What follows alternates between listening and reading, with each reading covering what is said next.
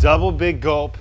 I've got Diet Dr. Pepper in here. I've got flip flops on, and I just ate crap. I ate a 7 Eleven slice of pizza and one of their brownie things. Man, so I'm just making this video because do you ever feel unmotivated?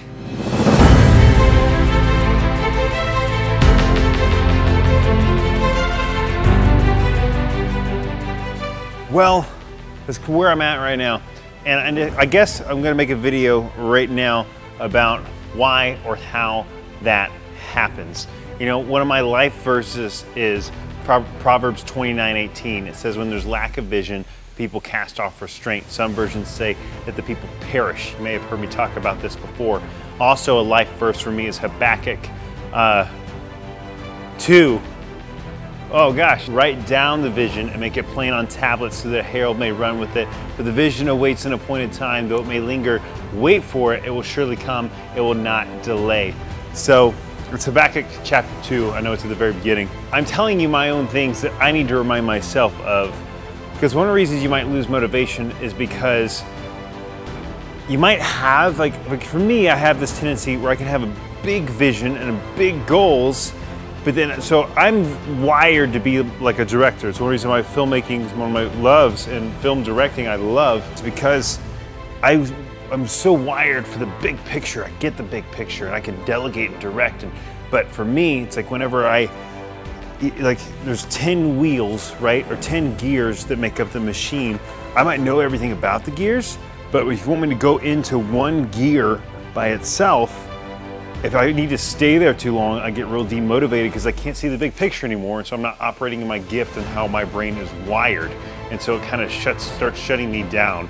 And so, but what can happen is if the entire vision is not clear, the big picture macro vision isn't clear, and you haven't taken the time to define and make clear all the gears that are in that big vision. So whenever I get inside one of those gears, I suppose, and I start working on that, then I can't see the big picture anymore and everything's foggy and all of a sudden it all starts kind of crumbling. It's sort of like running into the battle without really having a complete understanding of the battle plan. And once you get out there and another wave of an army starts coming, you're like, oh gosh. And so it's really demotivating and it gets kind of scary. And so uh, or you start getting lost on the path, you're on the mountain, and you got the idea and the vision for the top, and then you start going at it, and then you don't really, you get caught in the middle of executing a plan that's not clear. And so you start getting demotivated. So that's really what happens. And so that's what I am dealing with currently right now. So why am I here? Because sometimes you do have to act your way into a feeling not feel your way into an action. If you wait to feel it, more than likely you're not gonna end up doing it. Sometimes you just gotta make yourself do it. So I know that videos are an integral part that I'm procrastinating about getting done with this 30 day body sculpting program that I'm trying to shoot. So I am here right now because I know the gym is gonna be empty and I know I can film in some peace and quiet. So I'm gonna get a little bit of videos done. I'm about to take a little bit of time to figure out what exactly I'm gonna shoot.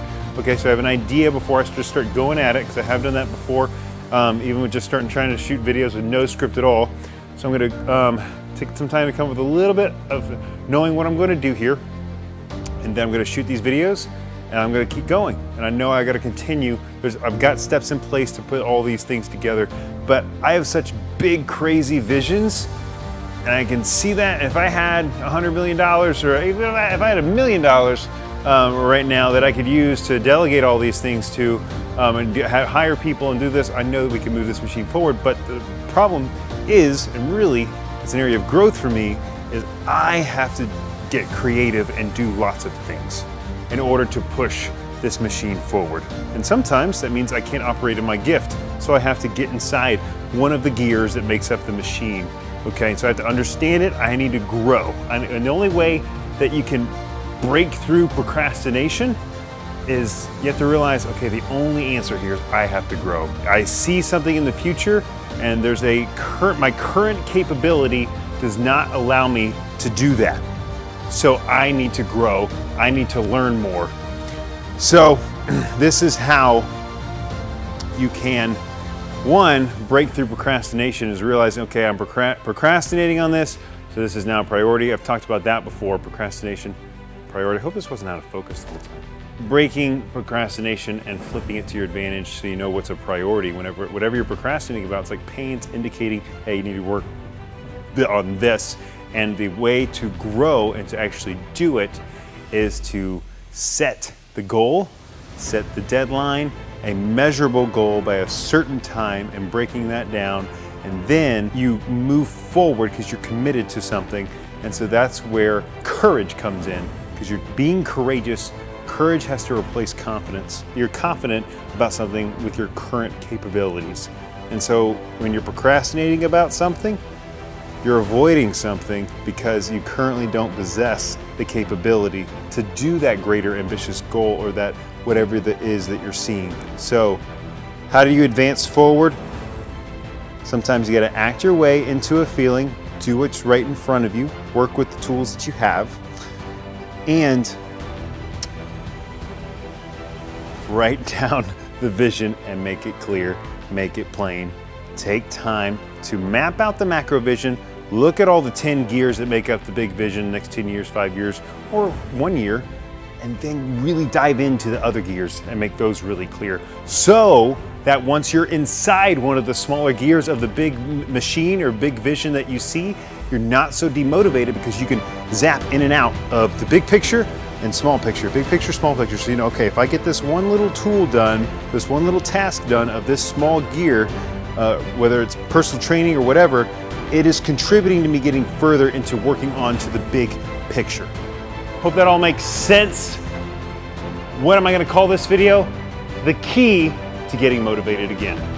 Boom, bodymountain.com. My name's Reed Lindsay.